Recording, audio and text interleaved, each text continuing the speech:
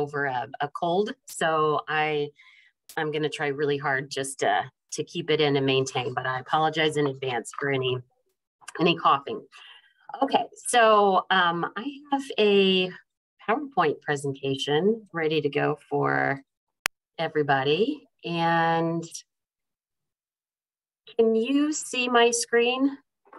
Maybe I can't see you all. So Nicole, if you could just tell me. Yeah, I can see yeah, you. Perfect. Looks great. Thank you. Okay. So um, Nicole, thank you so much for inviting me. Um, Mark and Cheri Nichols, thank you so much for um, for inviting me to this, and for all of you who are giving up an hour of your night to hear me talk. Um, thank you so much. That is really, really awesome. My name is Rachel Davidson, and I'm an associate professor of communication at Hanover College. And um, before I get started with some of my research, I wanted just to start with a little bit of story time. So um, my oldest daughter just graduated from high school last weekend, which is crazy. When she went to kindergarten for the first time, I remember very vividly that day putting her on the bus. She was so excited, but I think I was more excited than she was because I knew I had the whole day to myself. like, holy cow, this is so exciting. So, this was back in 2008, right when I first started to, um, when I um, joined Facebook. And so I decided that part of my freedom, I would go to Facebook and I would gen or create a post sharing uh, probably a picture, but then also the good news that Carolina got on the school bus for the first time. And I thought I would get, you know, some comments and stuff. But I was really shocked because what I ended up getting were just a flood of comments from other mothers who had been through that situation and had told me how sad they were and how many tears they shed. I, I specifically remember the phrase waterworks to describe that day. And that was the first time that I was like, oh my gosh, I feel really guilty. Like I saw this as just a really exciting moment in my life. And I didn't cry at all, nor did that even cross my mind. So that moment, um, the reason I wanted to start with that that was the first time that I started to think about um, my research and how my personal life also intersected with my research. So um, when this happened, I was working on my master's in um, in applied communication, and I remember thinking, okay, I need, I have some research questions here. So, what creates mother guilt? But then I realized before I explored what creates mother guilt, I also need to think about what does it mean to mother. And so this um, innocuous moment um, ended up spurring my um, my research agenda, which is in um, understanding motherhood. So before I, I get into some specific research, I, I want to situate this into um, my disciplinary home, which is in communication. So um, the ways in which a scholar might pursue answering a research question depends on their discipline and also depends on their methodology. so I'm in my academic home is communication. And this is the study of human communication. And there are lots of different ways that you might study human communication. Some people study real life relationships or real life um, people, me and you, right? What I am interested in studying um, is in the subset of what's called rhetoric. And I'm interested in studying the public artifacts that humans, that real life people create, and that they create for large mass consumption. So I'm interested in film and television and advertising, music, lots of different um, types of public artifacts. So I want to pause just for a second and try to utilize the chat. I don't know if this will work because I actually I can't see the chat. So maybe Nicole, if you could just tell me what if people are posting. So I just maybe just take a second and post in the chat your favorite public artifact. And I'm including mine in here. So I love stories in every form, but I'm especially um, I love movies and television and shout out, I did just see the new Top Gun and it was pretty phenomenal. So if you want to type in that, you can too, if you've watched Top Gun.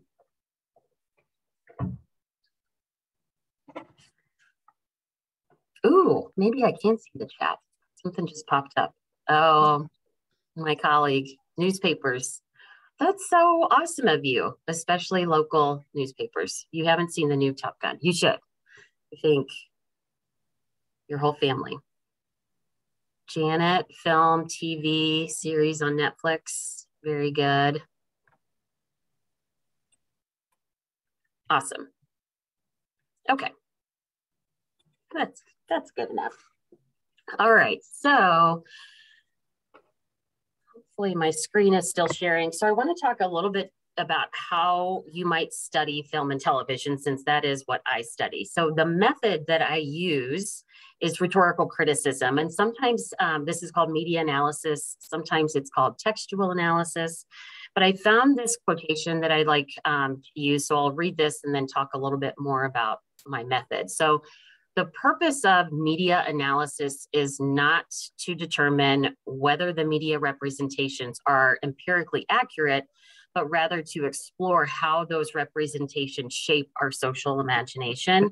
And so in my research, I'm not interested in uncovering the capital T truth of something, but I'm interested in offering an informed interpretation of, um, of a representation or of a message, of a, a particular reading of a public artifact. And so in doing that, I'm primarily trying to answer two questions. And the first one is what? So what media representations do we see? Or what messages do we see? And then the second is how do those get presented to audiences?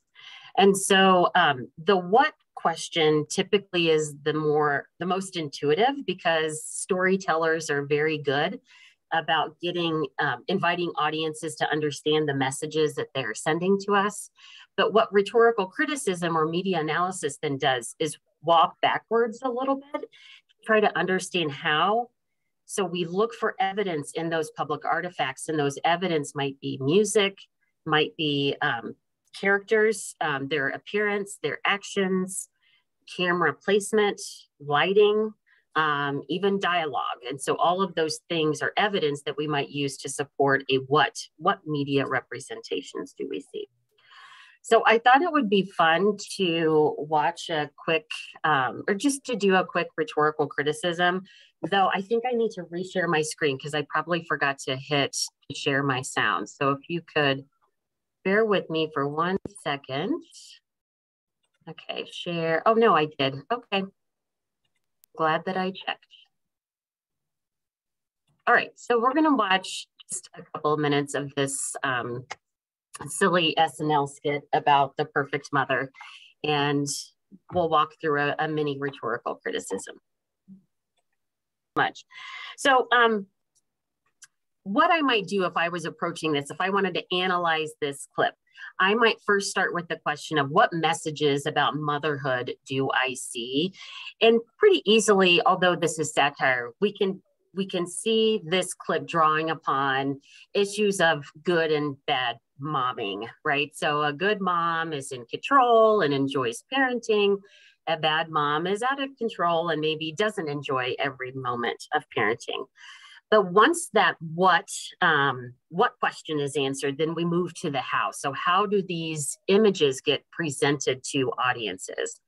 What I might do then is look at, and this is the middle column on the right hand side, how were these characters um, presented to us? What was their appearance? What were their actions? And so then we might map out well, the good mom smiles and appears to be put together. A bad mom um, is not smiling and the hair is a mess and um, doesn't look as put together. I might also look at how um, the dialogue is presented between these these characters. And so we might see then that the good mom says that she enjoys every minute of parenting and then the bad mom says uh, something relevant to feeling insane right? And so that's kind of a, a, a real quick rhetorical criticism but again this is satire. So it really is just picking fun at being a perfect mom because the perfect mom doesn't exist. But regardless, we still can see that even though it's it is poking fun at the perfect mom, we still see um, you know, that contrast between what it means to be a good mom versus what it means to be a bad mom. I think it's kind of fun. Okay, so my research then looks at what and how meaning about motherhood is created in popular culture artifacts. I don't just study motherhood, but that's what I find the most fun and interesting. So I typically look for um, public artifacts that that create meaning, meaning about motherhood in, in certain ways. So I'm going to revisit my initial research question. So this is what started my interest in motherhood. So I wanted to know what creates mother guilt and what does it mean to mother? But I have to frame these questions within my um, method. They have to be answerable. I couldn't answer those questions um, through rhetorical criticism, but what I can answer is in what ways is motherhood rhetorically constructed through the artifacts that we consume daily? Because I do believe that um, although we're talking about representations, that those representations do have an impact on the way in which we understand ourselves and the way in which we understand the world in which we live. So, so that is my, my primary research question um, now. Um, before I get to a particular case study, I wanted to just review a, a quick um, research on motherhood studied academically. So Adrienne Rich um, wrote a lot of seminal ideas about motherhood in terms of how we might analyze motherhood from an academic perspective. And in when she did that, she distinguished between two types of mothering.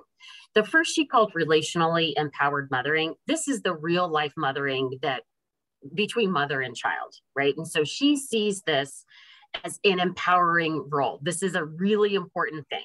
Mothers are amazing. But what she said is that what we tend to get in a lot of our um, public discourse is patriarchal motherhood. And that isn't real mothering. What that is, is it's an ideology that maintains some, some problematic issues. So one of those issues is that patriarchal motherhood says it's an ideology that all women want to be mothers. So that's called essentialization. Two, that maternal ability and the ability to love, mother love, that those are innate within us to all mothers. And that's called naturalization. And finally, that all mothers find joy and purpose in motherhood, and that's called idealization. And so in my research, I'm looking more at this latter part, the patriarchal motherhood. So, to what extent do public artifacts draw upon patriarchal ideas about motherhood? Because again, I'm interested in understanding how those rep- how those representations are presented to us, because I do feel like they have real life impact on the real life mothers um, who you know who take on this role or who have are in this role. Okay, so um, to introduce you to um, some of my research, you know, it's it would probably be a very easy task for all of us to spot good mothers in popular culture. So good mothers prioritize children's needs many times over their own needs. Good mothers um, comfort their children, they're maternal. Um, good mothers enjoy being a mother. And this is what Lee calls the fantasy mother some a fantasy mother who's perfect in every way except when she has some oatmeal on her sweater or runs a little late for a parent teacher conference. Conversely, it's probably just as easy for us to spot bad mothers in popular culture. So they don't conform to good mothering sta uh, standards, right? So they don't enjoy motherhood. They're not maternal. They don't put the needs of their children ahead of their own. And many times they're portrayed as less than, less than human a lot of times. And they, a lot of them are punished for their lack of conformity to good mothering standards. So in, in a, a piece of popular culture, punishment might be things like death, killing off of a character, might be divorce, or it could just be this is an unlikable character that people um, don't want to be around. And this is what, or who Lee calls a monstrous mother. And a monstrous mother um, either mistreats her children or struggles with emotions that stifle her ability to parent.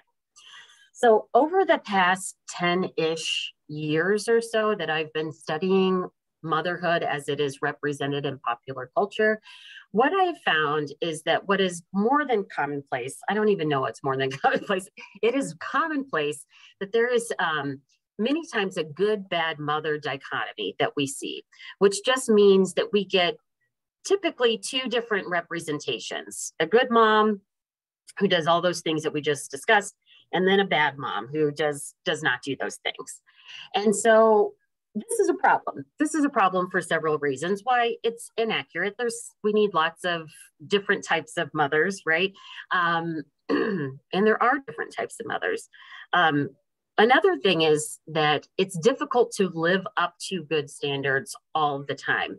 And so, what might happen is, um, you know, an impact, a real life impact that we might experience is if we don't live up to those good or ideal standards, we might start to punish ourselves as mothers, which might um, explain mother guilt or might even, you know, be related to something I've been interested in is, is mother shame. Is this guilt or is this shameful? Am I a bad mother or did I just do something bad?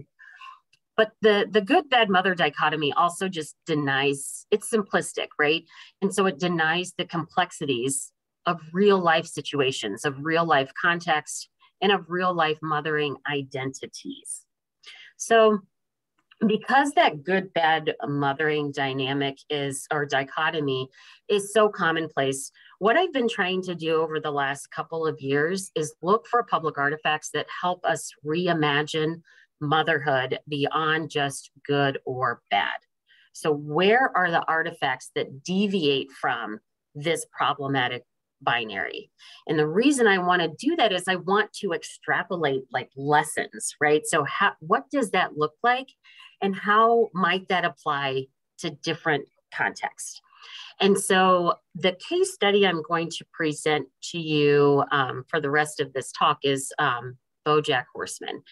Um, okay, so the title of this paper is called Animating the Nuances of Bad Motherhood Rhetorical Strategies of Resistance in Bojack Horseman. This is a paper that I have co-authored um, with one of my research collaborators. Her name is Dr. Catherine Dobris.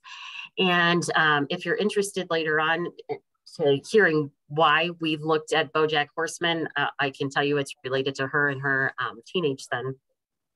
But I thought I would just pause here just for a second and have you all utilize the chat so if you can just indicate whether you have watched this series, if you've heard of the series, or if you have no idea what the series is. And I'll stop talking and get a drink for a minute.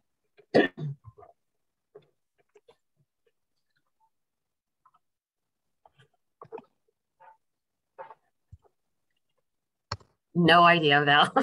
no idea. Good. Never heard of. Oh my gosh.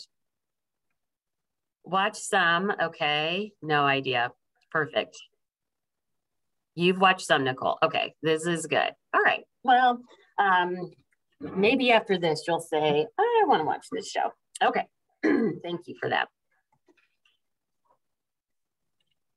Okay.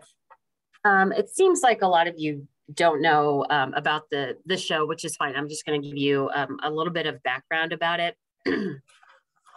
So BoJack Horseman is an adult animated television series that's on Netflix, and it's created. Um, it was created by Raphael Bob Waksberg, and it aired from 2014 to 2020 using animation. So this is an animated series. This series um, anthropomorphizes. I'm so glad that I said that correctly. that is a hard word to say. Um, it anthropomorphizes characters, including um, dogs, cats, birds, dolphins, sheep, penguins, and the occasional human. Okay, so this is that's what this world looks like. And in particular, equines are highlighted in the title role of Bojack and his family. So the center of the Bojack universe is Bojack Horseman. He's a middle-aged, mostly has been celebrity. Um, he was on a show in the 90s called Horsing Around, which is, um, I'm thinking in the same vein as like a full house type of show. And um, he currently, though, struggles with um, addiction, depression, and a series of dysfunctional relationships. You might be asking why this this particular series. Um, there's a couple of reasons. The show has been hailed by critics, um, both popular and um, academic critics, as ambitious and audacious. It's dark and unorthodox. Um, it offers moral lessons on racism, depression, sexism, self destructive behavior, trauma, addiction, and the human lived experience. Um, there are some people who have called this show the most extraordinary animated show in the history of the genre. Um, in short, um, one reason we we wanted to study this show is it offers an unrelenting interrogation and criticism of political and popular discourse. So it's not just for laughs, it is definitely social and critical commentary. Um, what's the, the focus of this paper, though, is on Bojack's mom, Beatrice Horseman, who is framed as the bad mother from seasons one to four. Um, she, throughout the first four seasons of this um, series, um, we mostly get the depiction of Beatrice through Bojack's lens. And um, and what we see then is we're invited to see Beatrice as um, the cause or the root of a lot of Bojack's problems. Actually, all of Bojack's adult problems. Um, okay, so I'm going to show you a few clips from this um, from the series, and actually, it's it's from one episode. And so I'm going to navigate back and forth between Google Slides and um, and Netflix. So um, please be patient with me.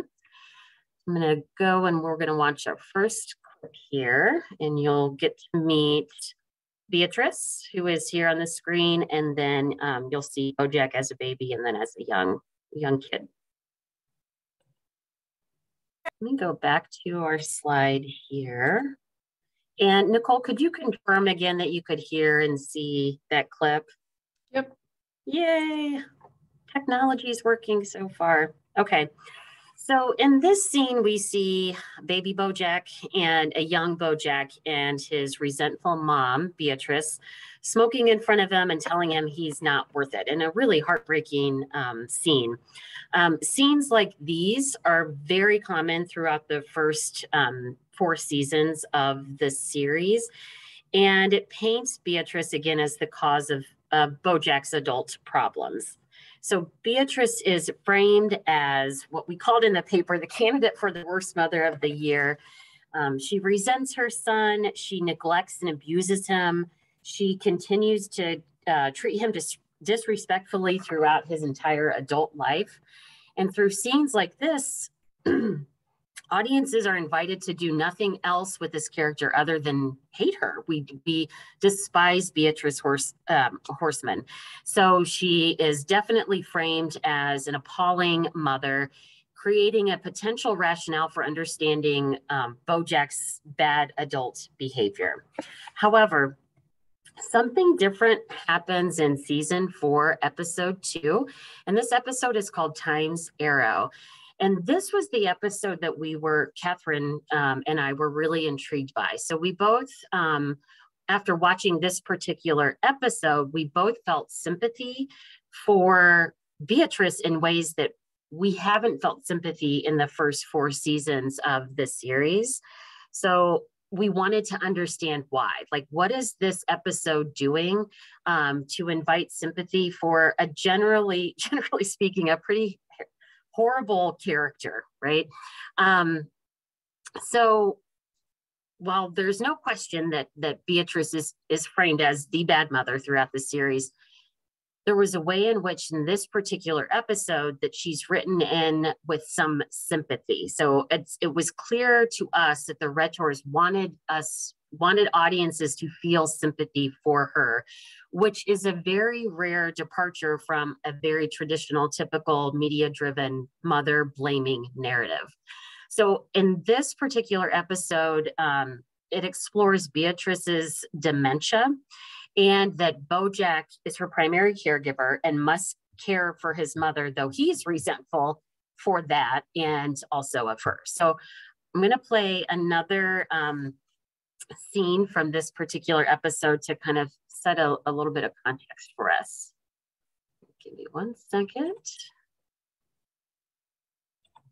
It's so odd. I can't tell you how many times I've watched this episode, and every time I see that beginning moment, I'm just like, oh, this is such a good show. Um, okay.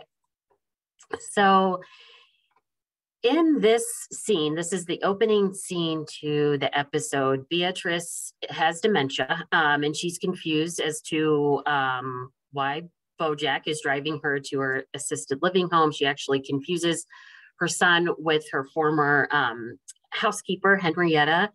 And um, so this is through Beatrice's um, dementia perspective. And so um, we talk about this a little bit in our um, in our paper, some evidence for um, communicating what it might be like to have dementia and to experience memories um, if you um, if you have this affliction.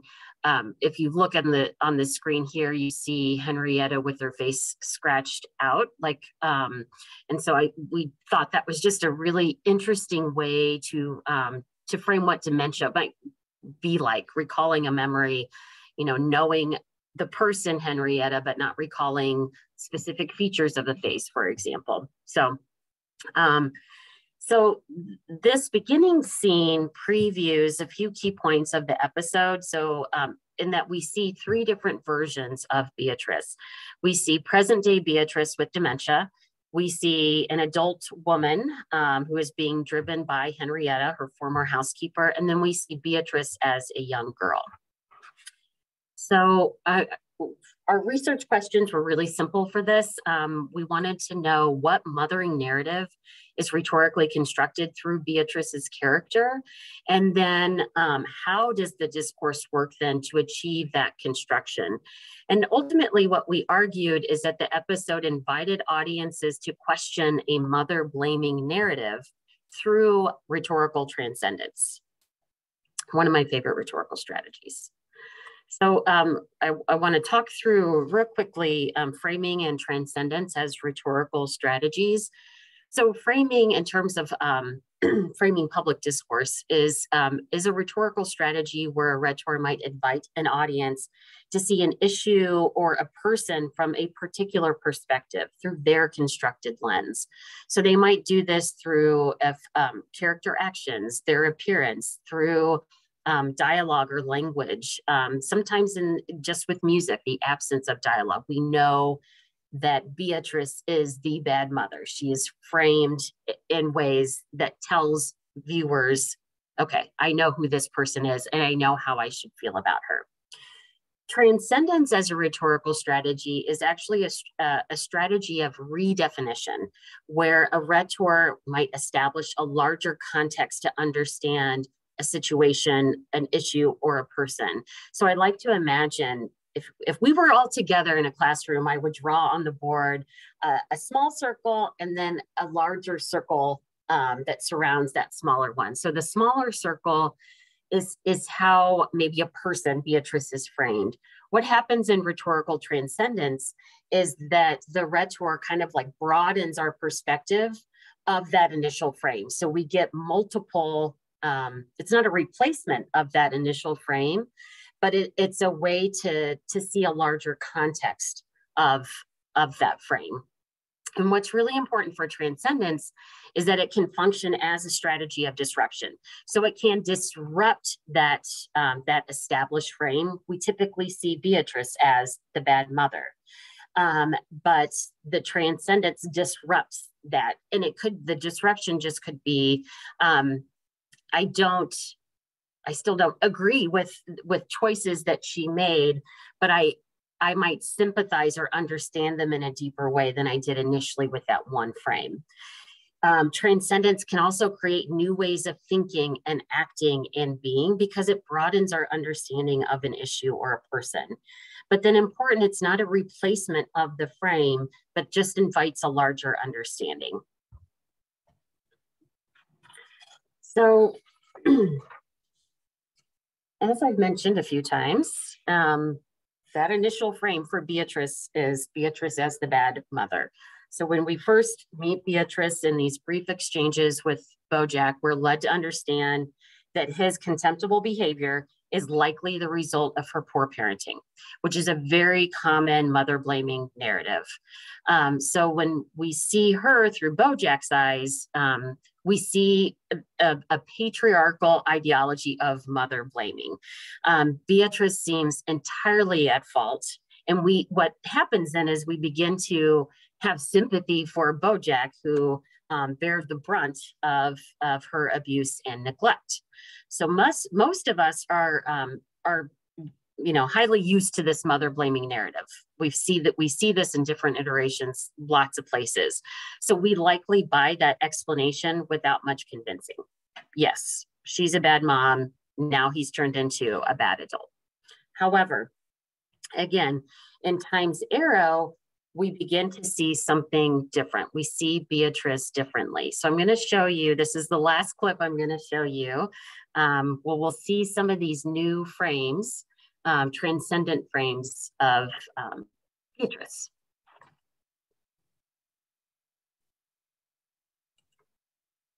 Okay. Hopefully I've, I've enticed you to go watch the, the entire episode in its completion. So several things start to happen in this um, excerpt. So these new frames, so we see Beatrice as um, a sweet child, an intelligent young woman. Um, we've earlier saw her um, as an unhappy mother. All of these things start to encourage the audience to begin to develop some level of sympathy for Beatrice.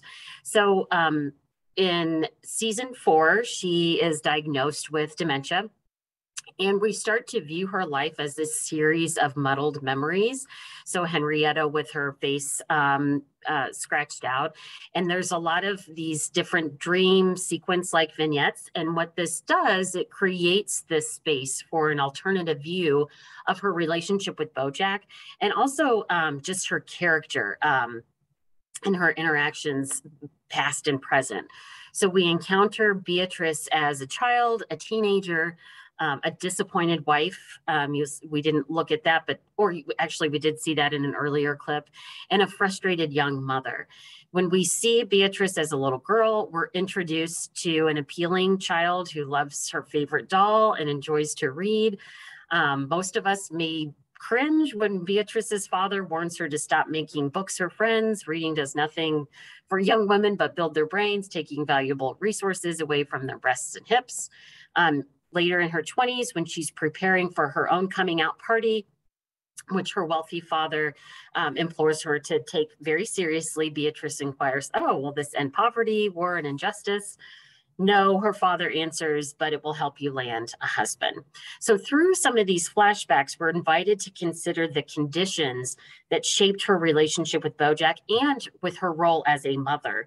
We're not particularly asked to forgive Beatrice, and that's a really important point. So we don't forgive her for some of her um, maternal feelings, um, but we are invited to consider how her experiences shape her later mothering behaviors.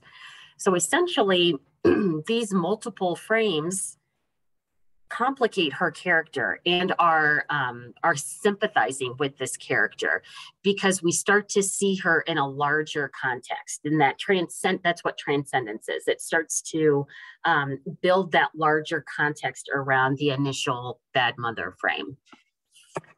So returning to um, our research questions um, and then how we answered those in the paper what mothering narrative is rhetorically constructed through Beatrice's character in Time's Arrow?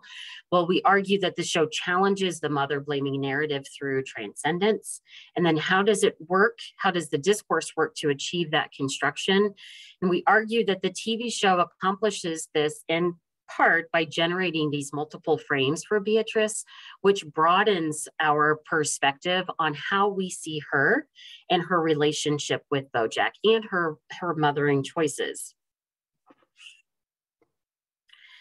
So a couple of things that we concluded in this paper is that um, one, Time's Arrow, which is the name of this um, particular episode, invites audiences to examine this, this well-worn trope of mother blaming narrative.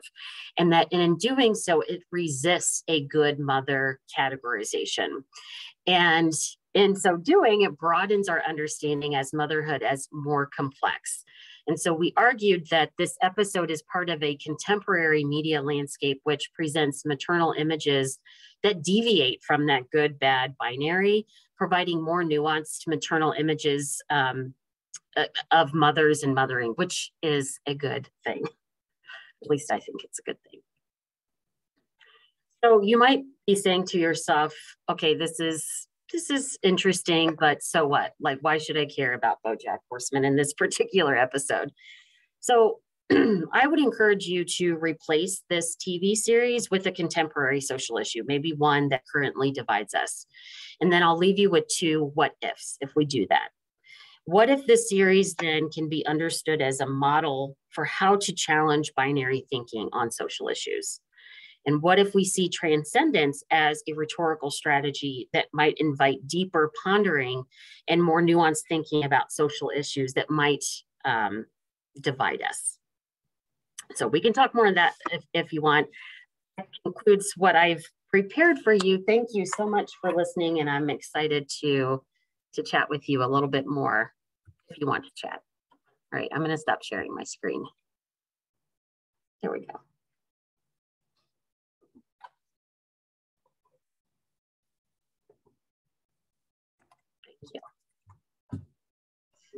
Are you taking questions? Yeah, I'm sorry. Any questions? Yes, please. Yeah. Or- I, I am so interested and intrigued, and I was going to ask you about another TV show or what you're working on next. So I'll start with that one. But I do had I did have some ideas about contemporary social issues to discuss oh. that make us seem like we're more divided because we're perhaps not transcending, which yeah. I love. Yeah. Okay, so tell me, tell us about like if you were to investigate a different artifact. Mm-hmm. Any okay. ideas?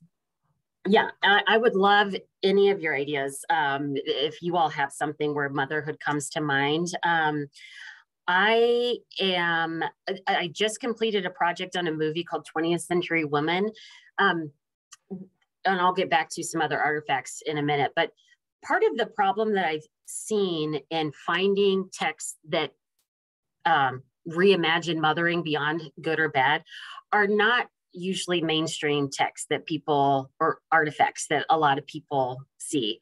Uh, typically, where where I see those images are in more independent, not as much money being pushed into those, you know, film and television series. Unfortunate, unfortunately, um, that's a whole other a whole other issue. But um, but yeah, I I'm really interested in um, I'm trying to think of like one in particular that um, that I'm looking at now that might be more mainstream.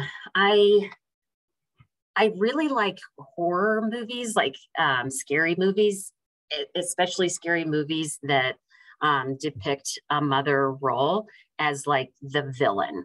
And i really like understanding like what do the do those mothers represent? Like there's some kind of fear or social anxiety that we have um, that's that's being reflected in those characters who are not just like bad mothers but are like evil people. And so and there's unfortunately a lot that fall into a lot of movies that fall into that category do you have an idea of, of uh, something that might fit what I'm looking into? Um, so I'm struggling to think about um, um, an artifact, especially a TV show or a movie where a mother and her role as a mother are the primary character mm. that's really fully mm. developed. Often you I mm-hmm. think of a show where the there are moms in it, or there there's discussion about child rearing or what that means, but I'm I'm sure I'm just not thinking of it because I don't watch enough, enough television. Yeah. And sometimes it's it's what I find interesting too or like um it, the absence of a mother character, like for example, the new um, new-ish Joker film. This was a, a, few years ago. The mother character in that film I, I played a very minor role in terms of screen time, but a really significant role in terms of how it led to some of the Joker's dysfunctional pastimes, which is weird. It feels blaming. Mm-hmm. Yeah, it feels like so. I think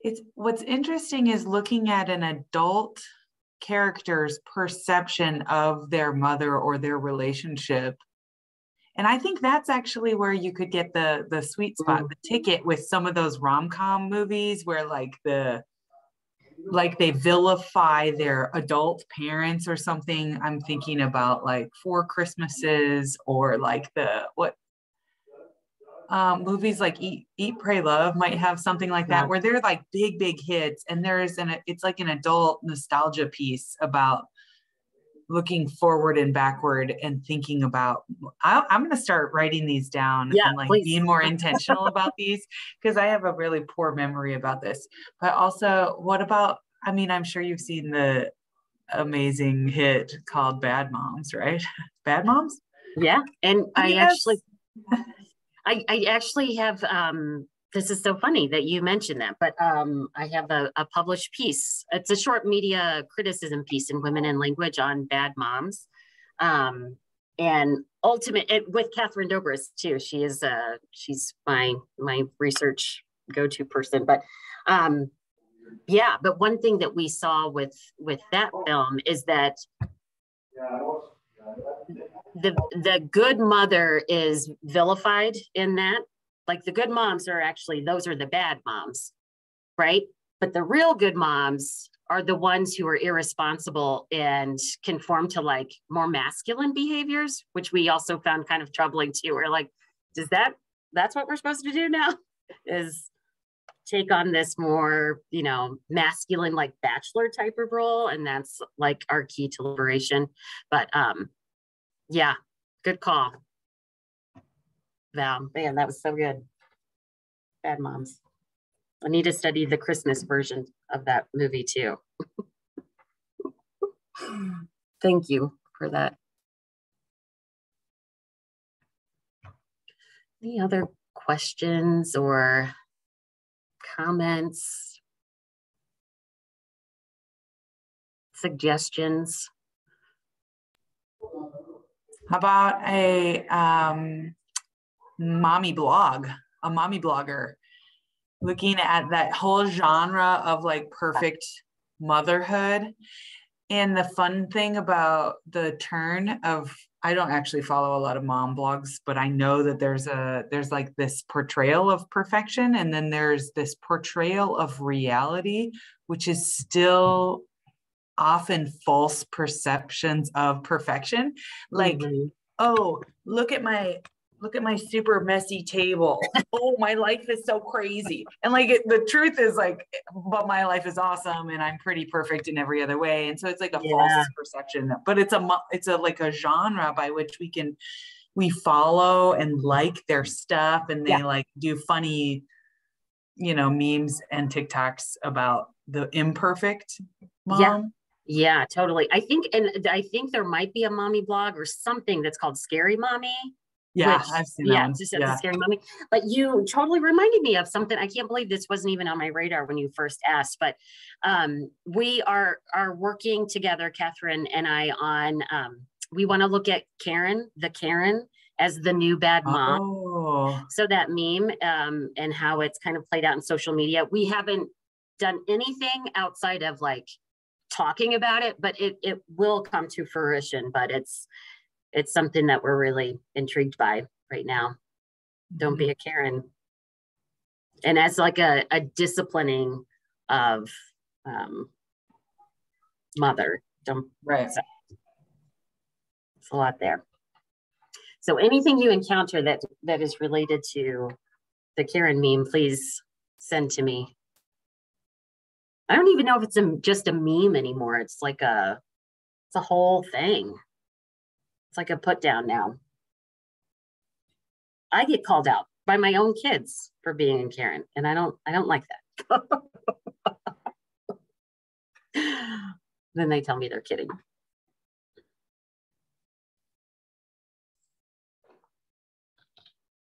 All right. Well, if there isn't any more questions, just thank you so much, Dr. Davidson, for hosting the session tonight. I've really enjoyed learning more about it. Oh, thank you so much for inviting me. And this is great. And again, thank you to everyone who gave up prime time, family time with your whoever you're spending time with tonight. This is so nice. Yep. And um, I'll send out a thank you email soon and I'll have the recording of the session too if you want to refer back to it later as well. So anyway, it was wonderful to see everybody tonight. I'll hopefully see you guys in the next session as well. So for Dr. Young's session. Yep, coming up can soon. I, can I just, can you guys hear? Yeah. yeah. There's a kid screaming in the bathtub at my house. I feel like this sort of encapsula- encapsulates. I'm like, I have something to do between seven and eight. Can we kind of hold down the volume? And it's like, this is like such a great example of like um, how motherhood and work and, you know, needs mm-hmm. Overlap and how transcendence is hard because in a mediated world, we can hear somebody's kid screaming in the mm-hmm. background a little bit more. I think that would be such an interesting mashup in terms of like organizational understandings and how motherhood can be reframed because you can now yep. see and hear my kids at my house in ways that before the pandemic when things yeah. were not as easily virtual mm-hmm. it was much harder to see that side of professional people yeah and i think harder to like i've always had a really hard time um when my identities, my professional identity and my mother identity, when they clash, and it's not even a clash, I need to practice that reframing and, and transcendence because I think you're right. Something has happened in the pandemic that's allowed people to be more comfortable with this is this is what identities, you know, this is what it looks like. So yeah, I love that. Thank you for bringing that up. As I say that, I'm sitting in my office because I did not want to hear my dog. I didn't want my cat to walk in front. I didn't want my kids to jump on Netflix and kick me off. this is ridiculous. Anyway. Well, thank you everyone so much. And thanks for organizing this, Nicole. That was fun. All right. I'll see you guys later. Thank you so much for joining. Bye. Bye, everybody.